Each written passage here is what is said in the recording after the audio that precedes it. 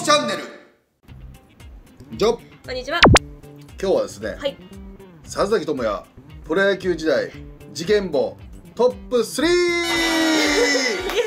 あ、忘れた。もう事件ですよねはい、ごめんなさい。軽い事件ですから。事件簿？はいやっちまったなっていうやっちまったベスト3。はいやっちまったはいベスト3です、はいこのプロ野球そんなやらかすことあるんですか？いや結構やらかしてますね、何やらかすんですか？はい。まずじゃあ、はい。あの3位ですねはい。はいあのプロ野球の出発時間早すぎやっちまったな事件ですでもまさかこれ寝坊ですか？いや寝坊じゃないんですけど、はい。あのもうキャンプの時にはい。1年目か2年目かだったんですけど、キャンプの時にはい。なんか夜間練習とかなんとか出発っつって、じゃあ仮にじゃあ7時出発としましょうはい。7時出発って言ったら、普通よく考えてください、はい。何分前行動が基本ですか？7時出発。まあ、集合ですか？まあ、もう5分前ぐらい。ですよねはい。普通5分前でいいぐらいですよね、はい。5分前行ったんですよはい。大先輩全員乗ってましたバスはい。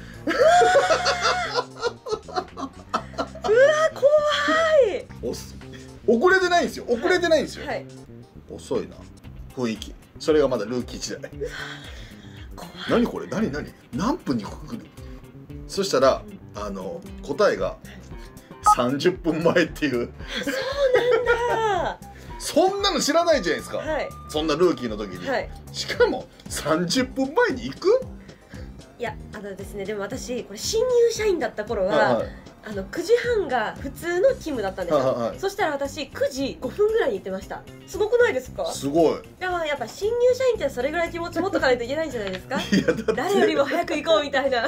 そんなの思わないじゃないですか。だってじゃあ出発して、はい。そこから車が移動い動いて、室内練習場とか練習場に行ってそこから練習なわけですよ、まあそうでそのすね出発のホテルの出発のバスっすよ。あえ？ホテルの出発がですか？はい、ホテルの出発のバスがで7時出発しますね、はい。で6時55分に行ったらあの全員来てて6時半には行かなきゃいけないってことですよ。えバスの中じゃずっとこうやって待ってるんですか？そう。大先輩も？ようわけわからんでしょ。だからめっちゃ焦ったしなんか超雰囲気悪いですよね。はい。そうですね。だって間に合ってんのに僕がもう最悪悪いみたいな、はい。何お前新人なのに一番遅いんだよみたいな。えこれもう伝統的に30分前なんですか？うんみたいなんですけど、はい。もうそんなルールはね、あの僕がもうベテランだったらね取っ払ってやりましたよ。おお優しい7時だったら6時59分59秒までにバスに乗ってればいいって言ってで、まあまあ一番、いあの上の人は一番最後に来いって言ってるんですよはい無駄に早く来たらどんどん出発時間早くなるんですよはいあの星野さんが、うん。その北京のジャパンの時にめちゃくちゃ早いんですよ。はい。だから7時出発だったんですよ仮にね、うん。はい。そしたらもうどんどんみんな星野さんが早く来るんでどんどんみんな早く来てあの6時50分に出発してますからね。あじゃあ全員来たから出発するぞ そうなんですそしたらはい。どんどん早くなっていくんですよ、はい。しまいに6時半出発しだしますからね、からじゃあ早く支度が終わったらホテルでテレビでも見てギリギリに来ればいいそうそうもうだらからもう監督とか年長者はうん。ギリギリに来てくれって言うんですよ、うんそんじゃないと若いやつらがい。どんどん速くなってくるんですよ、そうですね。僕だから一回ん。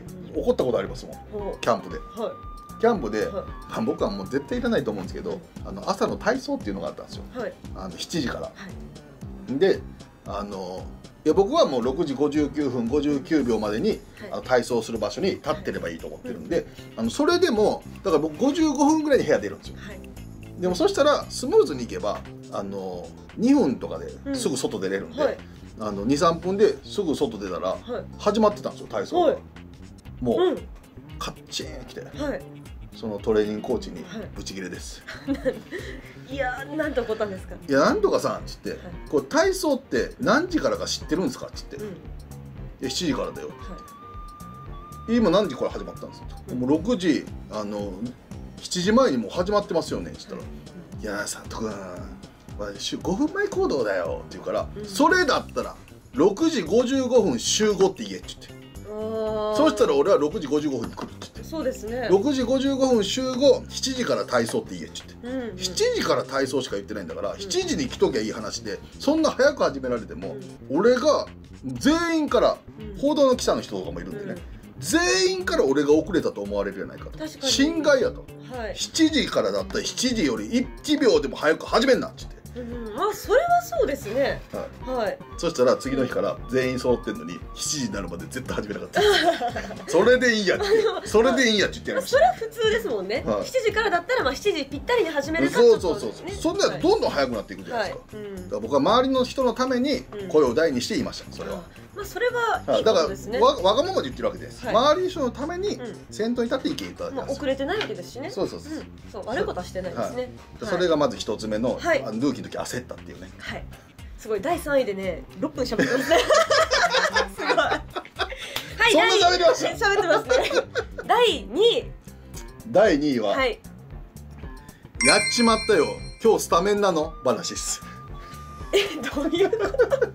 スタメンじゃないと思ったんですいやかルーキーの時はい。だったと思うんですけど、はい。あの遠征とかがうんジャイアンツとの2軍でも、はい。ジャイアンツの時は遠征が昔結構あったんですよ。はい。仙台とかうん。札幌とか。うん。で行った時にはい。あの2軍の選手ってほぼ遠征しないじゃないですか。うん。だから遊びに行きたいですよね。はい。でしかももう僕は大卒で二十歳も超えてるわけですから、であの2軍の試合ってデーゲームじゃないですか。でも遊びに行きたいじゃないですか。はい。遠征行くと2試合あるんですよね。はいでそしたら大体2軍って順番出るんではい。土曜日出たら日曜日出なかったりするんですよ。しかも遠征に来てるから、ではい。キャッチャーももう45人いますし、うんで僕土曜日出たんですよ。うんはい。明日絶対出えへんって。言って、はい。でその出なさそうなやつだと、はい。だから遊ぶあその飲み行こうやって。言って、でご飯食べに行ったり飲みに行ったりして、はい。あのめっちゃ遊んでたんですよ、はい。であの絶対出えへんわって言ってちょっとしか寝ないで、はい。球場行ったら、はい。今日のスタメンキャッチャー佐藤出てる出てるやんと思って、はい。めっちゃ焦ったっす。えそれはやっぱりもう寝てないしほぼ寝てほぼほぼ寝てない。どんだけ飲んでるんですか？そんな。ほぼ寝はいてないんですよ、はい。でそれで、うん。そいつとかみんなで顔見合わせて出てるやんみたいな。準備とかもしてない。でもこれがね、はい。気がめっちゃ張るからい。大活躍、すよかったと思って。ごいいやあの結構二日酔いでやばいやばいと思ってる時ほどニュース噛まなかったりとか やっぱり緊張感というかいい緊張感になるんですね。どめっちゃ結果出してうん。よかったと思って、はい。であの札幌遠征もあったんですよ、2軍で、はい。で土曜日出たんですよ。はい。さすがに 明日は休みやろっつって、はい。スタメンじゃないやろっつってあのもう仙台のこと忘れてますよね、はい。で行って遊ん。んだんですよ。はい。でほぼ寝ないでうん。行ったんですよ朝、うん。キャッチャー佐藤。マジかみたいな。はい。めっちゃバタ活躍した。いやこれ毎回遊び行った方がいいんじゃないですか。でも、はい。ほぼ寝てないですからね、はい。1時間とか2時間とかしか。えー、すごいですね。もうだって出ないと思ってんすもんいやでも多分これで失敗したら自己嫌悪に陥るじゃないですか。だからそれをなくさないために、うん。させないためにっていういい緊張感ですねきっとね。そうっすね、うんめっちゃ多分うん緊張感ある中、はい多分1年目と2年目ぐらいだった話だと思うんですよ、はいまだまあ若いですよね、うんでもあの学習能力ないでしょ。はいそうですね。同じこと何回もやるっていう。いやだって出ないんですから大体交代交代言ってたのに次の日も出てるってマジかと思いましたもん。い一回やったらそういうことあるかもしれないって。やいや、ねこま、今回はないやろって思うんですよね。これ言われないんですか？コーチとかに。明日も出るぞって。言われないんですよそれが。え当日なんですか？はへえいまあでもね、はい。大活躍っす まあそこがねそこがスターになるべく人のねだからねとこですよ。こんな笑って喋れますよね。そうですね。それで大失敗してたら言われないですよね。でもめっちゃ焦ったっすね。はい。朝名前呼ばれた時。はい。出るんやと思ってやばいやばい今日失敗したらそっからもうこういくかもしれないわけですそうもんね。そうそうそううん、厳しい世界ですからあねーでもバシコーンめっちゃ集中して行ってありましたよ。うんよかったですね。よかったですね本当に。第2位の話短めにしておきました。そうですね。いい感じです。はい。では第1位。でじゃん。え試合にバットを忘れていく大事件やばいでしょこれ。えバットとかグローブって必ず自分の家から自分で持っていくわけですか？だから球場にあるんですけどはい。あの球場で荷物出しするんですよ。はい。そのトラックで運んでもらうために。そのだからこの位置にはい。荷物球場に行くよホテルに行くよ分けて廊下があるんでこっち側とこっち側に分けて、はい。あの荷物置いてくださいって言われるんでそれを自分たちでそこのその所定の場所に置くんですよね、はい。これは球場行きこれはホテル行きっつって、で出す自分で出すんですよ。うん。でそれで次の日移動ゲームで福岡だったんですよ。はい。で福岡で移動ゲームで飛行機に乗ってたんですよね、はい。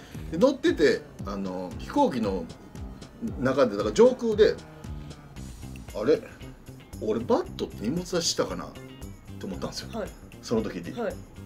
もうでもあのあれですよ。もう一日経ってますからね、はい。であの出してないっぽいな。出したかな。ではい。でももう飛行機の上だからうん。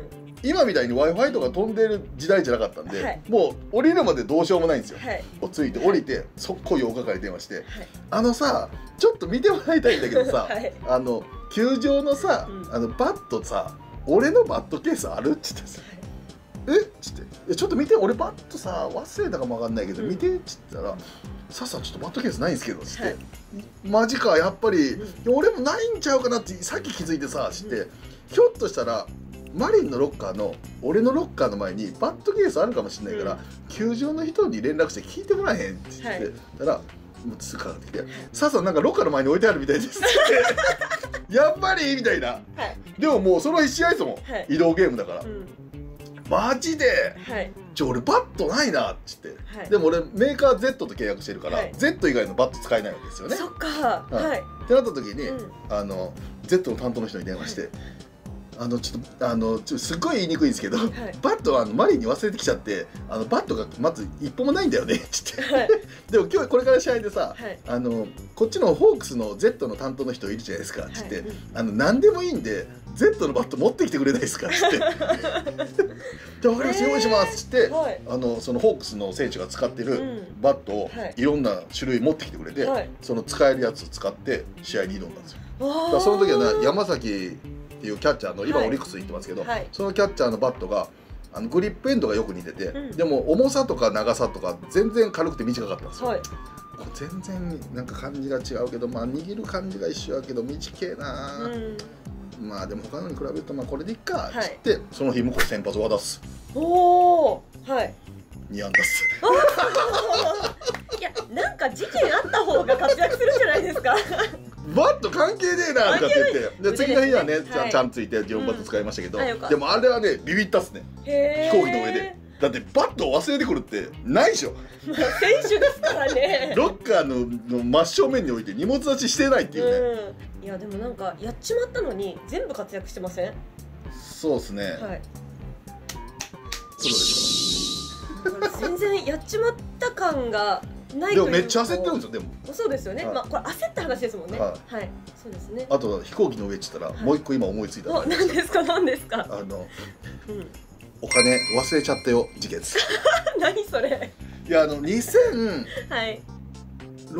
年か6年だったかなその日本シリーズがはい。札幌であって解説に行ったんですよ、うんうん。そのプレイヤーゲストとして。はい。でそれであのギャラをあのそのままもらったんですよ。おお手渡しで。はい手渡しで、うん。であその時あ2007年だ、はい。でその時あのジャパンの合宿があって、はい。千歳から神戸に飛んだんですよ。はい。で神戸でそのままあのオリンピックの予選のあの練習のためにうん。神戸に飛んでそのままジャパンの合宿に入ったんですけど、はい。その時に手渡しでギャラもらったんですよ、うん。でそれをタクシーに乗る時もらったんですよ。うん。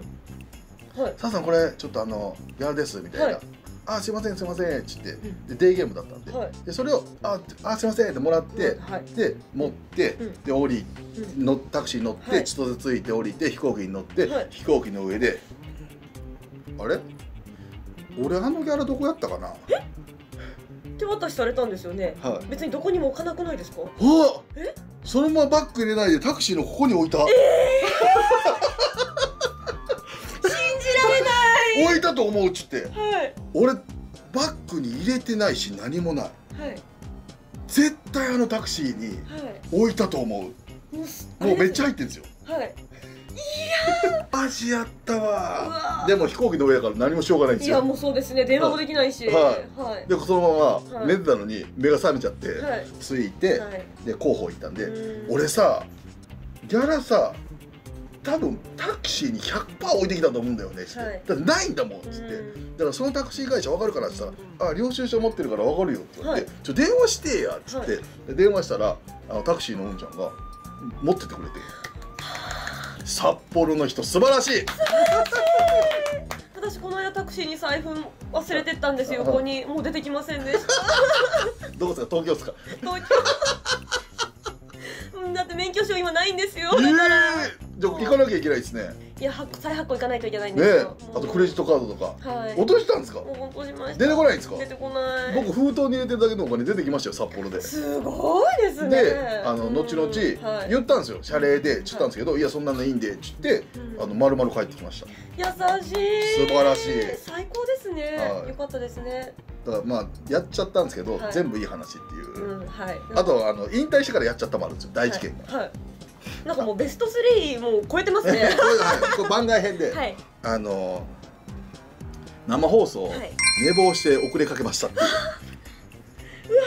あの前日にはい。TBS の S1 っていうのに出はいはいて夜の。S112 時半から1時なんですよ、はい。でそれに生出演して、うん。次の日日曜日日テレの週1にはい。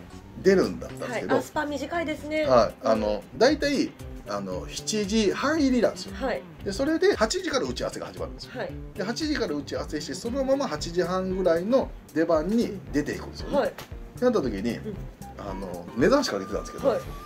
起きたかったんでしょうね、は電話が鳴ったんですよ。はい。ブルーッつって。で「佐々木さん今どこですか?」っつって、家ですけど」みたいな。それ8時2分ですよ S1 で着てたはい。やつそのままかけてたんで、はい。同じやつ着て、はい。ネクタイだけ変えて、はい。出ようと思ったけどやっぱさすがに歯磨かなきゃと思って、はい。歯磨いて歯だけ磨いて顔洗って、はい。速攻出たんですよ、はい。あの3分で、うでそっからあの車であの駆けつけたんですけど、あの僕ちょっと日テレ近くてはい。奇跡的にはい、家で。ね。日曜日なんで道路も空いてたんですよね、はい。朝。うん。でそれであの奇跡のあの出番3分前にあのスタジオに入るっていう、すごい。間に合えばいいんですよ、はい、うん。だからもうあのエレベーター入った瞬間にあの音声さんそこで待ってましたもん。マイクマイクマイクはい、マイクできますっつって、はでスタジオ入ってちょっと押さえてはい「さあ行きます」っつって「さあこれからスポーツです」っつってしかもその時に限ってあのグラフを説明しなきゃいけないっていう。